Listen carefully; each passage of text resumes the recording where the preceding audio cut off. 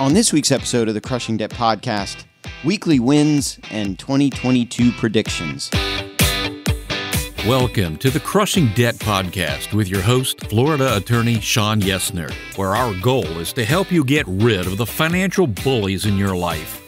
So, welcome back to this week's episode of the Crushing Debt Podcast. My name is Shawn Yesner, owner and founder of Yesner Law, and we made it. We are at the very, very end of 2021, looking forward to 2022. And so, what I thought I'd do is uh, wrap up the year here and talk about my predictions for what's going to happen to the real estate market, foreclosures, bankruptcies, all of that stuff into 2022. Now, before I get there, real quick, I want to mention uh, one more time our sponsor, Sam Cohen of Attorneys First Insurance. And so, if you are an attorney or title company and you need errors and omissions insurance, malpractice insurance, or if you know an attorney or title company, please refer them over to Sam Cohen over at Attorneys First Insurance. He can give them an apples to apples comparison. And what I really like about Sam is that he's not a high pressure salesman. If he can uh, do better, then he will give them the rates to do better. If he can't do better, he'll tell the attorney or title company that he can't beat what they currently have. And so Sam is very honest in that capacity. Uh, he's very knowledgeable about malpractice insurance for attorneys and title companies. And so a great way to support the Crushing Debt podcast would be to support our sponsor, Sam Cohen of Attorneys First, and a great way to support him would be to refer to him a title company or an attorney that you know uh, that is due for renewal of their malpractice insurance. You can reach Sam at his email, sam at attorneysfirst.com, or at the website, which is just attorneysfirst.com. So, a couple things I wanted to talk about in this week's episode. Many of you know from previous episodes, longtime listeners may know from previous episodes, that one thing that I do consistently is that at the beginning of the year, so or at the end of the previous year, so as we get into these last couple of days before the end of the year, I map out what goals I want to accomplish in the following year. And then what I do is I write those down, and then every month I pick one to work on. And then every week I pick a goal that will support the monthly goal. And then every day I pick a goal that will support the weekly, that will support the monthly. And then I write down what I want to accomplish during the day to support all of that. And, and the concept is it's six things that I need to do. I can't go to bed until all six of those things are done for the day. And that helps me be highly, highly productive. I've used it to eliminate debt, I've used it to get my budget under control. I've used it for various uh, different things. And so if it's a system that you want me to explain further to you, uh, please contact me, Shawn at yesnerlaw.com. Uh, no, no sales pitches, no nothing to buy. Uh, I simply just get you know a generic notebook, and and that's what I write everything down in. And so I can help you uh, show you my system, and then you can use it as you see fit. If you want to use it exactly as I do, uh, or if you want to use it in a different way. But what it does is it allows me to knock out a lot of my annual goals. I accomplish a ton during the year, and it's all small, incremental steps. And so, if you're interested in getting out of debt in 2022, if you're interested in making more income in 2022 or beyond, if you're listening to this episode, uh, you know, sometime in 2022 or 23 or 24, and you want to work on some of these goals, please, please contact me and uh, and let's work through it. Um, no charge. I'll I'll give you what knowledge and information and systems I have, and I hope that you can uh, get those things accomplished for yourself. One of the other things that I do, however, and I've mentioned this as well, is I track. So I have five uh, work days of the week, Monday through Friday, and then on the sixth page, so that I always start, you know, fresh on the same page in the book. On the sixth page, I track what I call my weekly wins, and so those things that I've accomplished during the week that I'm particularly proud of.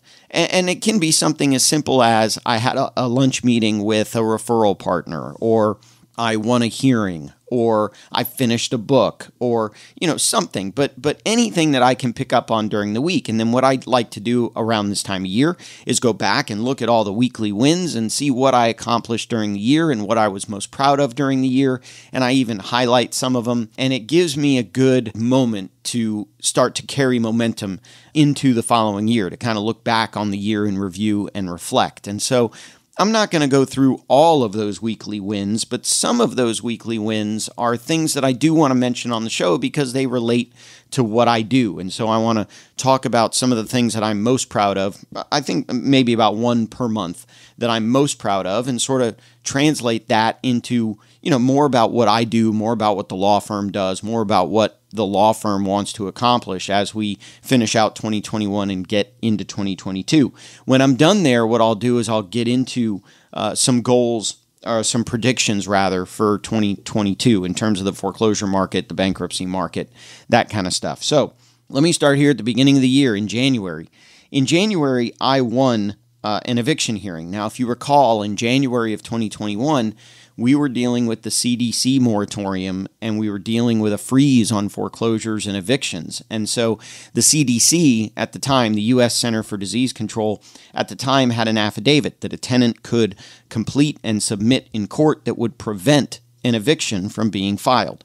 Well, in this particular case, uh, our tenant uh, did not comply with the affidavit. They were being evicted for a reason other than a failure to pay rent due to COVID. They were being evicted simply because their lease had expired. It had terminated by its terms.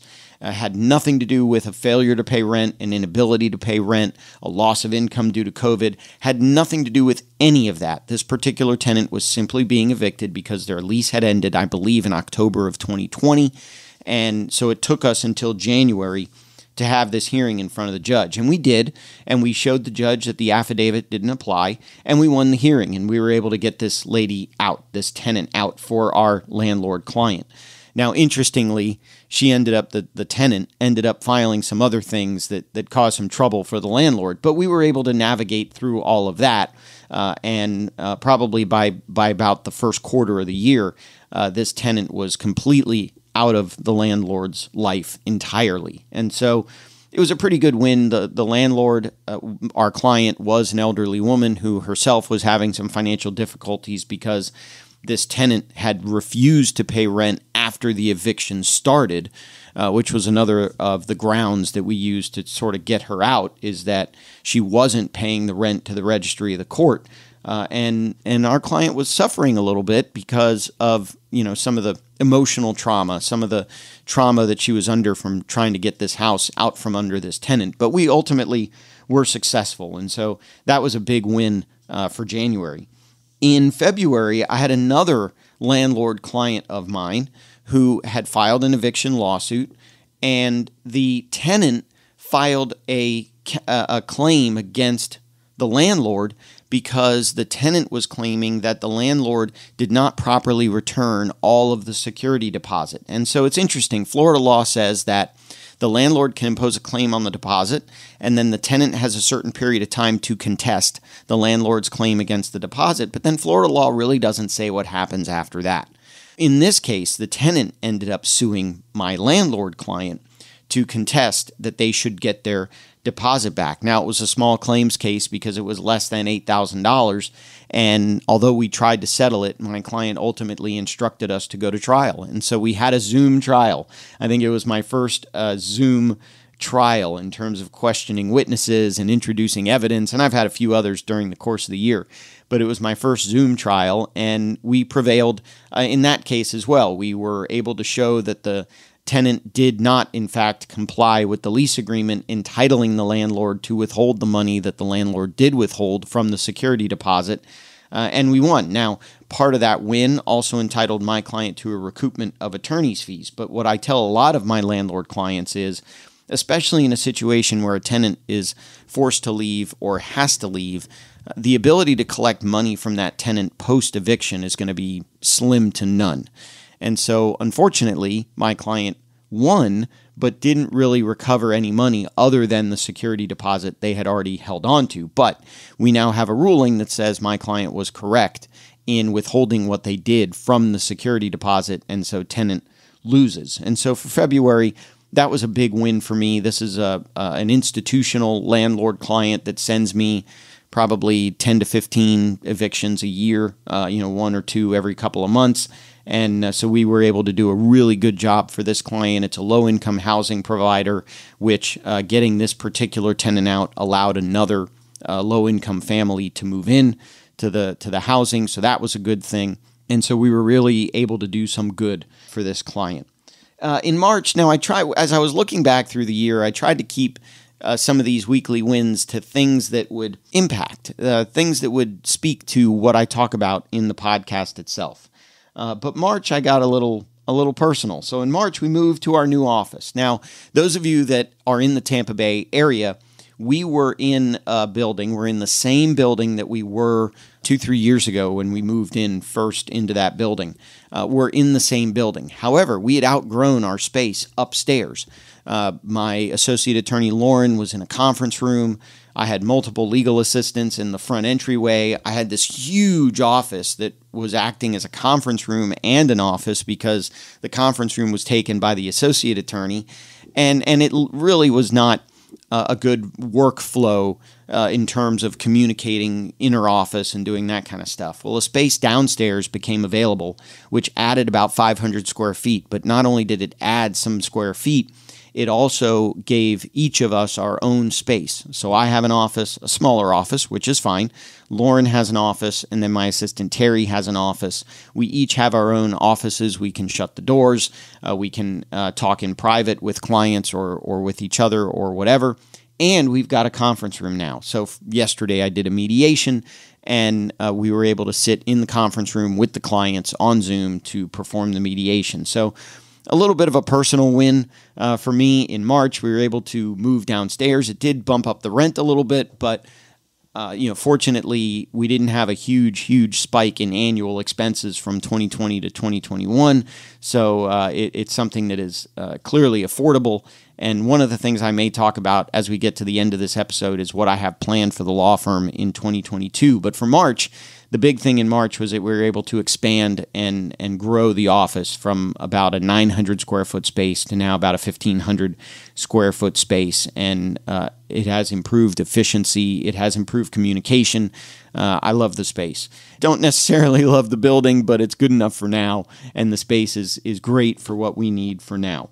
So in April, I brought a partition lawsuit. Well, I brought the partition lawsuit earlier than that, but we actually won the hearing in April. So this was a situation where brother and sister on on one side are my clients and then the other sister on the other side is the defendant and brother and sister want to sell the house and sister does not want to sell the house because sister can live there basically for free uh, and so we started a partition lawsuit. The three siblings inherited this house from their parents, and uh, two of the siblings want to cash in. The third sibling wants to stay there. And so we filed what's called a partition lawsuit. Basically, we asked the court to split uh, the proceeds, to order the sale of the house and split the proceeds. Now, in April, we won that hearing, uh, allowing uh, the sale of the property and now the split of the proceeds. Now, interestingly, here we are in December as I record, and we're still sort of um, fighting with the defendant uh, sibling who still lived in the house.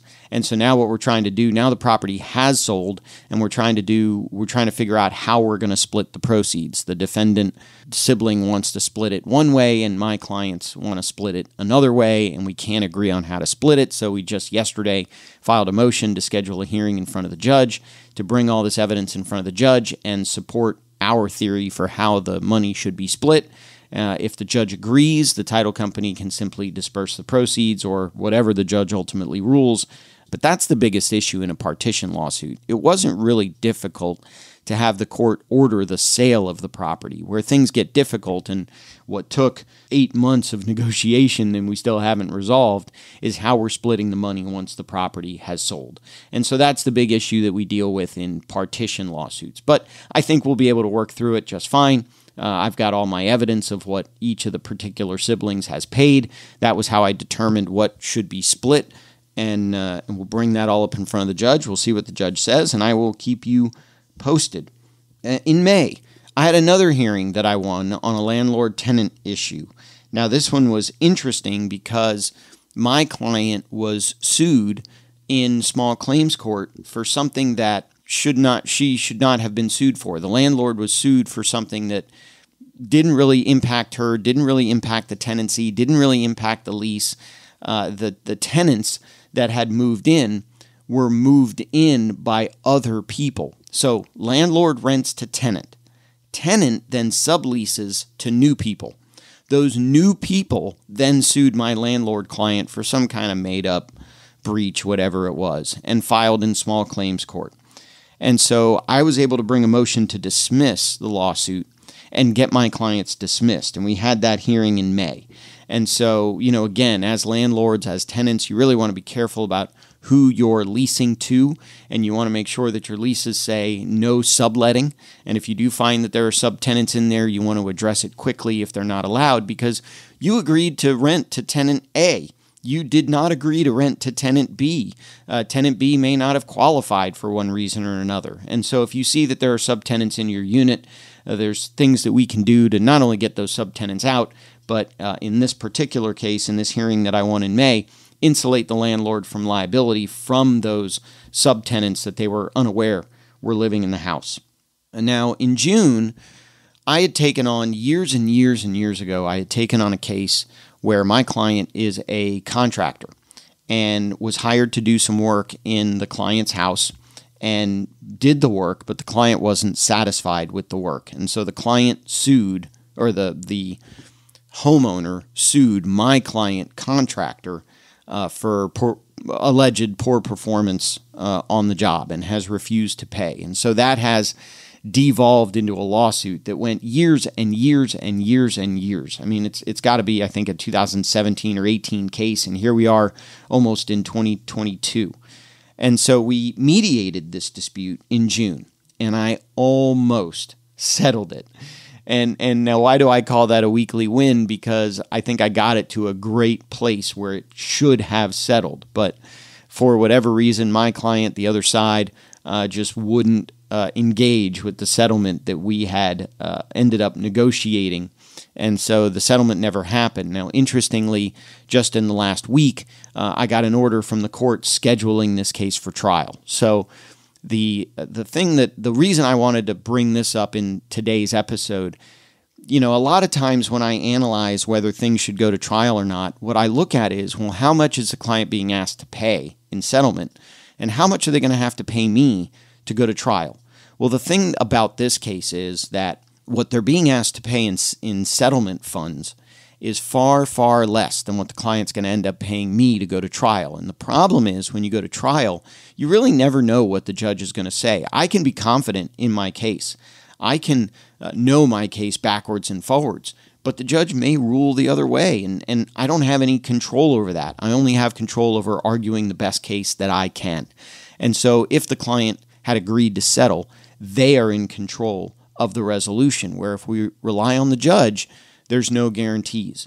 So, as you all are out there looking at different settlement options, if you're talking about settling with a creditor over debt, or you're talking about settling, I'll talk about uh, what I did yesterday in terms of another lawsuit that I handled. When you're looking at settling, also ask yourself well, if we don't settle, what's it going to take to get this case across the finish line?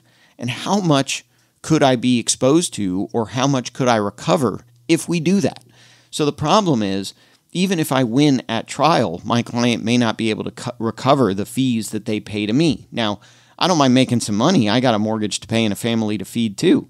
But is it the best alternative for me to take a bunch of money from my client, maybe win, maybe lose, where they could have paid less to settle the case back in June and the case would be over? Now we're looking at trial in March of 2023. And so they're going to have to pay me to take this thing to trial where it could have been done in June of 2021. So when you're reviewing settlement options, those are really some of the factors you need to consider uh, as well. Now, in July, this one I, I added, uh, even though it wasn't a win, it was actually a loss. But I had a trial in July that I ended up losing. The reason I included this in a weekly win is because it was a trial related to fallen trees on a piece of property. And so I had done a blog post and I had done a podcast episode years and years ago with uh, our friend Rich Fika from Florida Coastal Insurance. And the topic of the show and the topic of the of the blog was whether a landowner could recover for a damage from trees that fell onto their property. And the issue is you can really only recover if you know the trees are diseased or or in bad shape and you give notice to the neighboring property owner. The neighboring property owner doesn't do anything about it. The trees fall on your property causing damage. Well we thought we had had a fact pattern that did that and so we did end up having to go all the way to trial. Unfortunately the judge disagreed with us. Uh, the damage was after one of the hurricanes had come through in Florida. And basically, what the judge ruled was that the hurricane was the primary cause of the downed trees and the damage, not the disease of the trees themselves, not the condition of the trees themselves. But the reason I wanted to include this is because it was a great example of a podcast episode and a blog post that generated business for the law firm. And so, you know, as if you're listening to this near the start of hurricane season, that is definitely something you want to look into is how are the trees doing on your property? How are the trees doing on your neighbor's property? Do you need to give any notice that those trees need to be uh, taken care of, that those trees need some TLC? And then for those of you that are podcasters or content creators, look at creating content that people want to hear, people want to listen to that could end up generating either SEO or business or whatever for you. So that's why I wanted to include this as a win, even though the result of the trial itself was a loss.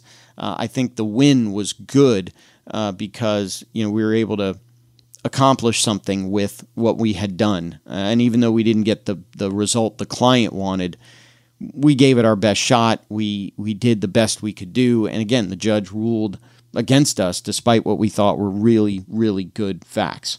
Uh, in August, I had a bunch of debt settlements. And so in August, I was able to settle for a client. She had, uh, I think, five or six different creditors, and we were able to settle each one $20 a month here, $50 a month there, uh, $35 a month here, $75 a month there. Now, I had encouraged this client to file bankruptcy because even though we were able to settle each of the debts, it still adds up to a couple of hundred dollars a month over all these payments. And so my thought process was bankruptcy is probably an easier solution than, you know, nickel and diming someone to death over these little uh, settlements. But the client didn't want to file bankruptcy, which is fine. And we were able to settle a lot of these debts. You know, again, 20 bucks here, 30 bucks there, 50 bucks here, 100 bucks there. And we were able to settle uh, all of these debts for the client, and she was able to avoid bankruptcy. So I felt that was a win. Uh, also had a case, you know, I mentioned with the client in June who refused to settle. Well, in August, I had a client who chose to settle, and it was on those grounds. It was a it was an analysis of well, if I don't settle, I'm going to have to pay a lot more money. We're going to go to trial. There's the uh, danger of incurring attorney's fees of the other side if we lose. Now, again, my fees would have to have been paid if we had won. But again, the risk and what the judge might say and the complexity of the case, this client said, you know what? I'm going to spend a couple of grand now to get it settled rather than pay Shawn more than that for the question mark of what the judge might say. Now, again, I'm confident in my case. I'm always confident in my cases. I won't take them on otherwise. But you never know what the judge is going to say. So I think this client made the correct decision. And even though it was a little bit more than what they wanted to pay, this case was settled in August, and they get to enjoy the end of the year and next year uh, in peace rather than have this trial hanging over them. So, again, consider the consequences of settling and consider the consequences of not settling. Uh, September. Now, September is another personal one uh, in September, I really got back into running. Now, those of you that, that have listened at least for the last couple of weeks know that I got a diabetes diagnosis uh, back in October. Good news is the doctor's officially taken me off of insulin. I'm now just controlling it with diet and pills. And I think having had the diagnosis, my attitude was I'm not going to rely on the pills to get my blood sugar down. I'm not going to rely on the insulin to get my blood sugar down. I'm going to rely on diet and exercise to get the blood sugar down and use the pills and the insulin as a supplement. What I seem to notice here is that some people who are diabetic, and, and to each their own, I'm, I'm really not saying this from a place of criticism, just a place of observation. What some diabetics will do is they'll say, Well, I can keep eating the way that I've been eating because I'm on insulin and pills. And unfortunately, I don't think that's the right solution for me uh, because it was eating like garbage that got me into this scenario in the first place. And so, if I continue to eat like garbage, at some point the insulin and the pills are not going to work anymore. I had to change my diet for the pills and the insulin to work. And I had to change and be more consistent with my exercising. And so in September, I got back to running.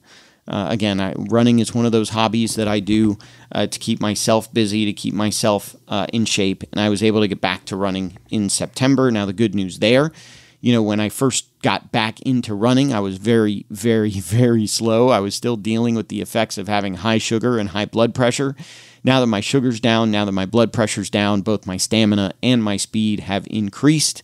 Uh, I think when I first got back into running in September, I was running like 17, 18 minute miles. Uh, and then this last time I ran here earlier this week, I was down to about a 12 and a half minute mile. My goal is to get down into the 10 to 11 minute mile range and then increase it to three or more miles. You know, 3.1 is a 5K. So, you know, again, a little bit personal for me, but it was a win in that I had started to get my exercise under control. I had started to get my sugar under control. I got back into running, which is something I really enjoy doing. Uh, and so to me, that was that was a, a big win uh, in September. Uh, similarly, in October is when I got the diagnosis and when I started uh, the insulin shots. Now, again, as I record this in December, the doctor has uh, taken me off of the insulin shots. I am only doing pills. And so the reason I included the insulin shots for October as as my win is because number 1 I was able to get off of them. But number 2, shots and needles are a huge huge phobia of mine. In fact, as I record this, I'm just done uh, at the uh, lab getting my blood work done for the doctor for the next round of sugar levels, A1C levels, all that kind of stuff. And even though it didn't hurt, it, you know, it, it's what everybody says. I felt a little bit of a pinch. There was a little bit of pressure. Uh, after about 60 seconds or maybe even less, the needle was out, the bandage was on, and, and I was on my way home. And so the whole thing, start to finish, was a big nothing. But sitting there in the chair as the tech was preparing all the needles and the vials and all that kind of stuff, I was literally shaking, literally shaking um, because I was so nervous about just having the, the blood work done. And so, if you want to become a diabetic, but you're afraid of needles and can't swallow pills, diabetes is absolutely the wrong disease for you. Um, but one of the reasons that I included uh, the insulin shots as a win for October is it helped me get over some of these phobias. You know, I can now swallow bigger pills where I couldn't before. Uh, I have to prick my finger twice a day to monitor my blood sugar. Uh, I had to give myself insulin shots and basically prove to myself that I could overcome my phobias. And so, what fears and phobias do you have, and what can you do during the year to overcome them? Now, again, I'm not suggesting that if you're afraid of needles, you eat like garbage so that you get diabetes and you have to deal with needles. That is not at all what I am suggesting. But if you have fears, if you have phobias, uh, attack them. Attack them head on and do what you need to do to overcome those fears and overcome those phobias. Nothing is really ever as bad uh, as it seems. You know, there's always positives, there's always silver linings, uh, there's always some good to take of any scenario, even if it's just how you react to that scenario, which is, I think, what happened to me in this diabetes diagnosis. So, what good can you take of everything else that's going on in your life? What lessons can you learn? What fears and phobias can you overcome just by living your life uh, on a daily basis? And so that's why I included that one as a win for October. In November, another long term case that I was able to bring to conclusion, which was a really, really good thing. Now, in this case, I had a client who was a uh, subcontractor but he wasn't a licensed subcontractor. He was basically a workman for another contractor. And he had been hired as a handyman to do some work for a homeowner. And the homeowner stiffed him on the bill. And so we sued to get him paid. But then the homeowner brought up that he wasn't licensed. And so the Pinellas County uh, authorities got involved and he actually went into a criminal case. My client got arrested and was being charged criminally with doing construction work without a license. Now, I was able to refer him to Bridget Domingos, who has been on the show once or twice before. I know I did a special episode with her uh, a, a, about a year ago, maybe a year and a half ago. And uh, Bridget was able to defend him and get the charges dropped. So Bridget did a fantastic job there.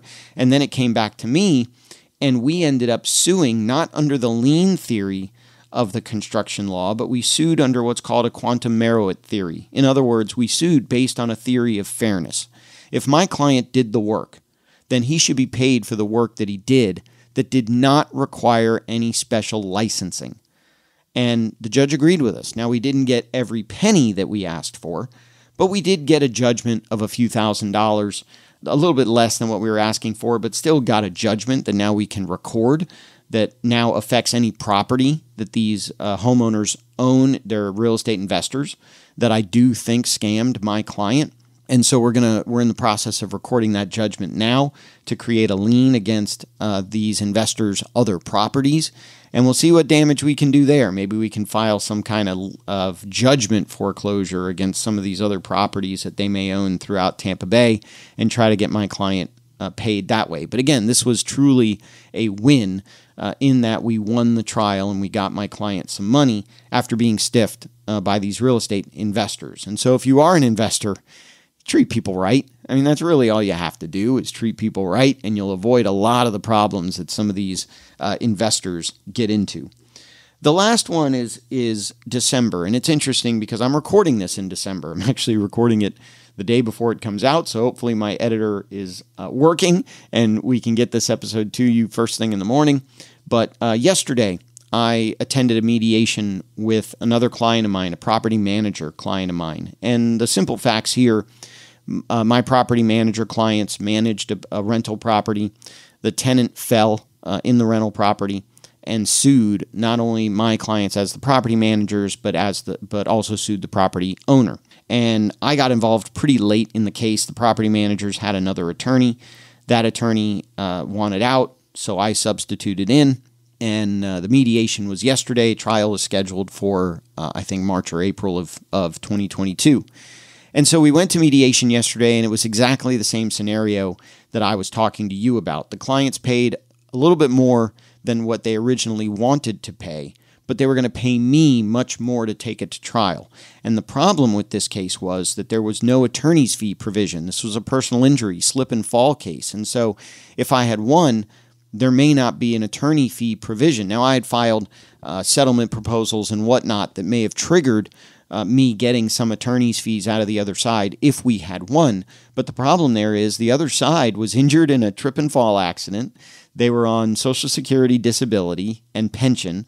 All of their income was uh, protected from garnishment. So even had we won, and even if I had gotten an award of attorney's fees, collecting those fees would have been a totally different and probably nearly impossible task.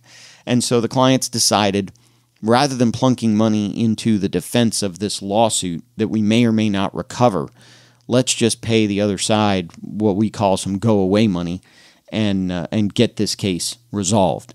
Now, the uh, interesting issue there is that there was another party involved, you know, the landlord, and so we had to sort of coordinate and work with the landlord, and there was some danger as to whether we, we would be adversarial to the landlord because of the property management agreement. But here's the interesting thing at the beginning, the first offer out of the plaintiff's attorney was six figures in damages. But because the, the plaintiff had Medicare, Medicaid, they had only had about low five figures in actual medical bills. And we were actually able to settle for less than that. So we settled for way more than what my clients wanted to pay, but we settled for way less than what even a minimum judgment would have been had the plaintiffs won at trial. And so, for that reason, my clients were super happy. Uh, it was a great win for us. And apparently, now I handle defense of personal injury lawsuits. So uh, because it was real estate related, I got involved. Uh, but it was interesting to uh, see a personal injury case from that perspective. You know, why was I involved? Basically, there was no insurance. Uh, I think from the homeowner, and definitely uh, my client didn't have an insurance policy that would have covered the slip and fall accident, nor would any property manager really. They're not they're not insured against slip and fall accidents in properties that they manage. That's what the homeowner's insurance is for. So uh, that's why I got involved, got experience uh, in uh, medical, got experience in personal injury, got experience in trip and fall. And so, a great little tool to add to the toolkit as we get into 2022. And speaking of, what do I see coming in 2022? Well, as of this recording, the student loan moratorium has been extended into May. It was set to expire, I believe, at the end of January 2022, and the Biden administration has extended that into uh, May of 2022. So until I think June 1, there's still no payments due on federally backed student loans, no interest accrual. Uh, if if you are on one of these loans and you do decide to pay it, you are chunking down principal, and so that would be a fantastic idea to reduce your student loans. No word yet on whether the government, the administration, or Congress is going to do any type of forgiveness of student loans. We don't know that information yet. And there's still no information yet as to whether Congress is going to make these loans easier to discharge in bankruptcy court. But uh, we have made a lot of inroads into student loans in terms of trying to negotiate them. Uh, especially in bankruptcy court, out of bankruptcy court. And so, if you're dealing with student loan issues, know that those may be on hold depending on the type of student loan you have until May. Uh, if not, reach out to our office. If we can't help, we've got a couple other attorneys that we've interviewed on previous episodes that we can refer you to, and they can definitely help you, especially if you're uh, outside the state of Florida or outside the Tampa Bay area. We've been hearing for, gosh, since COVID started that there's a foreclosure wave coming, there's a bankruptcy wave coming. Now, we haven't seen either of those things. But what do I think in 2022? I don't think there's a real estate bubble. Uh, I think there may be a correction. I think interest rates may go up. I think inflation is going to continue uh, because we've got to start paying back some of this deficit. And the only way to do that really is with inflation. We're not going to do it with income tax revenue to the government. So I think inflation is going to continue. Now, I do also agree that inflation in some areas is going to be more than inflation in other areas. And I'm not necessarily talking about the physical location, I'm talking about the industry location. So inflation in terms of in terms of uh, groceries, in terms of utilities, in terms of um, gifts and consumer goods. You know, inflation may be different depending on what type of category of expense you're talking about. But I don't see any way uh, to do this instead of except for inflation. I've heard that after the midterm elections, we could really see a spike in inflation. We could really see uh, a spike in interest rates as the Fed tries to start to get some of this even more uh, under control. And so I don't see a bubble. I don't see the type of bubble that we had in 2008, 9, 10. And even if there is a bubble, a lot of the houses now have equity where they didn't uh, in the Great Recession, in the mortgage crash, where a lot of those properties didn't have equity. A lot of the properties today do have equity. So I don't really see a crash, but I see a correction.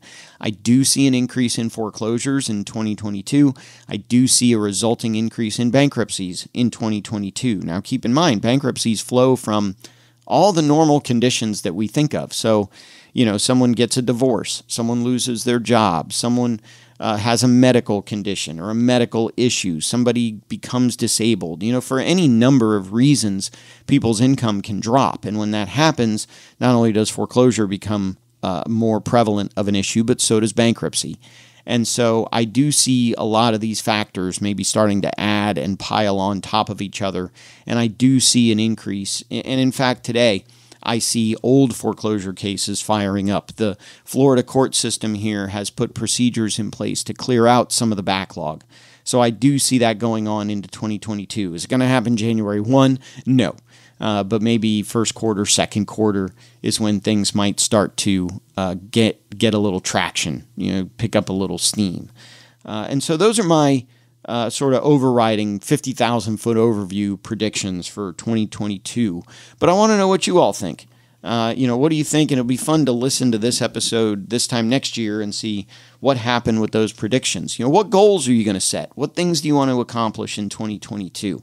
So that'll do it for this week's episode of the Crushing Debt Podcast. That'll do it for this year's episodes of the Crushing Debt Podcast. I very much appreciate you all listening, giving me your time to listen to my ramblings and my thoughts. Uh, I do really appreciate it. But please communicate with me. Let me know what you think. Uh, what goals have you set for 2022? What do you think is going to happen in 2022? if you want my system for setting and tracking goals, uh, please let me know. It's free. I'll, I'll, have a conversation with you or an email exchange with you and give it to you. Uh, but that's it really for this week and this year's episodes of the Crushing Debt Podcast. We will be back next year, 2022, the first week of the year, uh, with another episode, and I look forward to talking to you then. In the meantime, I hope that at the end of the month you have more money rather than at the end of the money you have more month. Have a happy and safe new year, and we'll talk to you next year. If you have questions that you think would make a great topic for a future episode, please email Shawn or connect with us on social media. Shawn Yesner and Yesner Law PL are Florida licensed attorneys. The information contained in this week's episode is not a substitute for legal advice. Your situation may differ, especially if you are located somewhere other than the state of Florida. If you have questions, please contact our office or contact a local attorney. Thank you for listening to this week's episode of the Crushing Debt Podcast.